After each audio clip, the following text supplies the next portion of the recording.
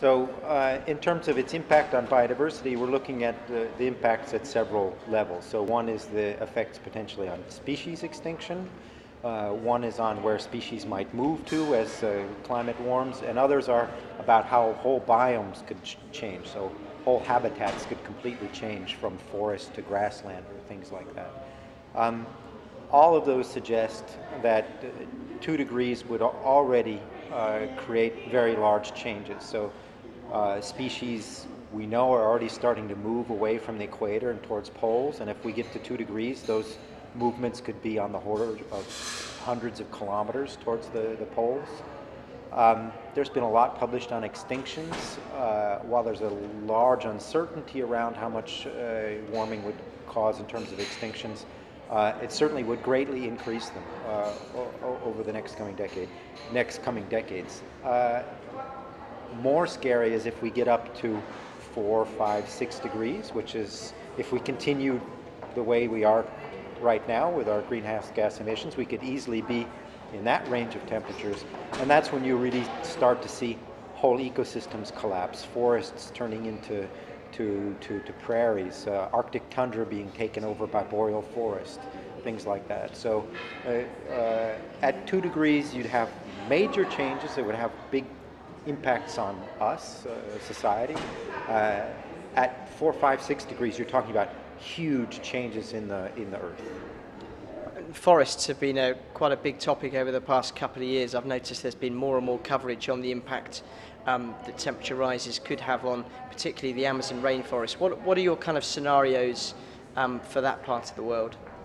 Well, there's uh, a fair amount of work now that's been done on the, the Amazon forest, for example, but on forests uh, globally.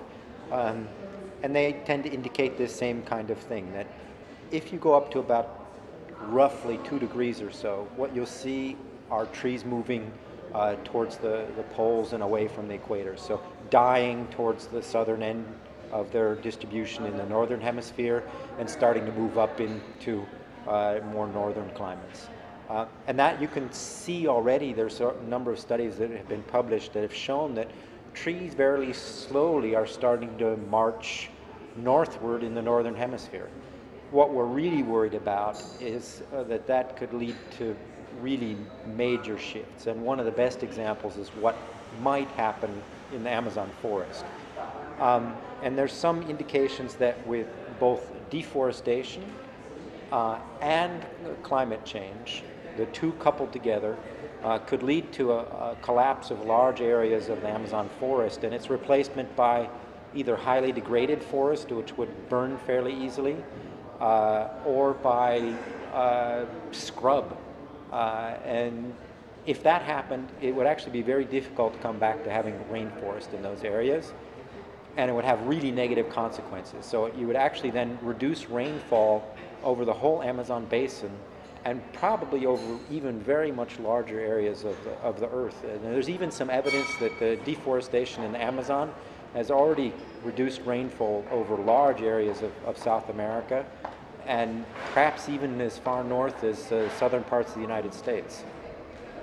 How, I mean, this, I, I, I, have, uh, I have no knowledge of how long that this planet has been working for, but I'm sure um, there'll be many experts to be able to tell us the millions and billions of years the planet Earth has been here. But over that time, I imagine the Earth's you know, flora and fauna have adapted. Is there, is there no way that trees, plants, animals will adapt to these changing temperatures, or is this over too short a period of time? I think there's a lot of um, uh, uncertainty around that, and you'll find a lot of probably different views in the scientific community about that.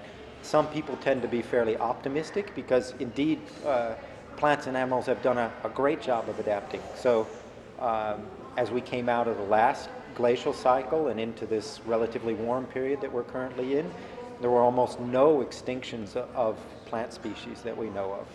Um, and that suggests that they, they can adapt. Um, but at the same time, what we know is that they moved a lot. They moved hundreds and some of them thousands of kilometers when, when that, that, that happened. And we're talking potentially about the same kinds of temperature changes over the next century.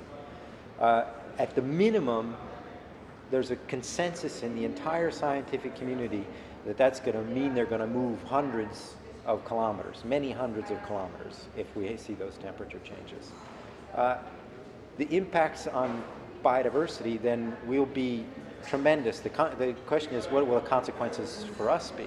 And you just have to think about whole ecosystems moving hundreds of kilometers, and that's clearly going to have some impacts on our our well-being, on our economy. We're going to have to completely adapt our forestry practices to completely different climates, probably different uh, species of trees. And, um, those are really going to pose some really big problems for, for our society. And I think most people don't imagine how big those changes are likely to be for us. There's people often say in the climate change debate that because you can't really see the change, it doesn't really resonate with the public. But from what you're saying, you know, when these happen, people will see those changes and they'll, they'll see them, you know, they'll hit them slap bang in the face. I mean, is this, is this perhaps another way that you can, people can sell to politicians, you know, the idea that you need to take action on this now? Is this another avenue that perhaps people need to explore? I think that the changes that you can see are, are, are a good way to, to talk to people about uh, climate change. And one of the things that people can see is that uh, some species are actually beginning to move towards the, the poles. Um, we, need, uh, we know that a lot of butterflies, for example, are starting to move towards the poles. Uh, we know that many trees, and people can actually observe this, many trees, many crops are starting to flower earlier in the, in the season and drop their leaves for trees later in the season. Uh, for wine grapes, we're now seeing them being harvested earlier and earlier because the season's much warmer and so they ripen quicker. So people can actually begin to see these changes around them. And then what we can do is help them think about what those might mean if they keep going in that direction. And yes, I think talking about those things that people can already start to see and then telling them if that continues on, that might be the consequences, I think can be a good and an effective way of communicating about climate change and biodiversity. And, and on a kind of final point, a very effective um, graphic you showed um, demonstrated the potential changes that we're seeing, perhaps the changes we're seeing now, so not potential, in um, fish stocks around the world. Um, how, how serious do you think that, that could be? What are the, what are the sort of worst case, worst case scenarios? Well, the, the worst case scenarios you don't really want to get into because they're so bad. But um, if you got five, six degree temperature change plus the ocean acidification that goes with it, because the when the CO2 rises in the atmosphere, it tends to acidify the ocean. And if you couple that with the, the current trend in overfishing, basically what you get to is an ocean that's dominated by algae and jellyfish and there's actually places where we're already starting to see that. So as waters get a little warmer and as you tend to overfish, you tend to simplify the ecosystem and we could wind up eating jellyfish instead of fish over the next several decades. Um, I suppose that's kind of the worst possible case, and, and there's a lot of reasons to believe that that might not happen because of the adaptive capacity of of ecosystems because we might be intelligent and stop overfishing or reduce our overfishing. And so I think there also has to be a positive message that if we can maintain uh, global climate change to a relatively small level, if we can reduce the other pressures on these systems, marine systems, by reducing the, the fishing pressure on them, most scenarios actually suggest that we can get to a world that's different than, than we're in now, but not radically different. And I think that's one of the most important messages to get across is that there will be changes. Uh, most of us who work on looking into the future are pretty sure that there will be fairly important changes, but some of those remain more or less in our comfort zone. But if we don't do anything, don't do anything about overexploitation of resources, don't do anything about climate change, they're going to be way outside our comfort zone. One final point the scenarios that you have talked about and you showed were all, um, they all appeared alarming. What, what has gone wrong um, when it comes to communicating these scenarios to, quite frankly, the people who matter, who aren't really me, they're, they're, they're the politicians and the policymakers in countries around the world? What's, What's gone wrong? Well, one of the problems is, and the climate change community has clearly showed this, they have an extremely good capacity to develop scenarios for the future.